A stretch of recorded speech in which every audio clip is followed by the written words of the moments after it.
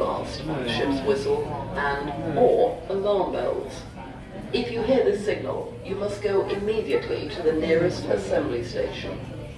You can find the assembly stations at the front and rear of the passenger lounge on deck 4 and deck 5. Look for the square green and white signs with arrows in each corner pointing inwards to a symbol of the family. Smaller signs with arrows will lead you to these assembly stations. Don't use the lifts. If you're a passenger with mobility problems or special needs, we'll help you get to an assembly station. Once you're at your assembly station, a member of the crew will give you a life jacket.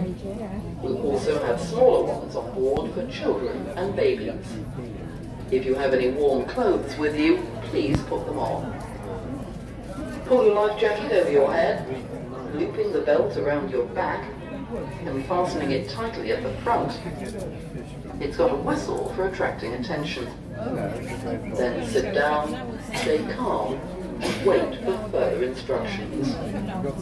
If the captain gives the order to abandon ship, a member of the crew will direct you to your evacuation point. You must remove your shoes and leave all personal belongings behind. Then you will use the slide to get on board a life raft. Remember, it is important that everyone must stay calm and listen out for instructions. On behalf of Wightlink, the captain and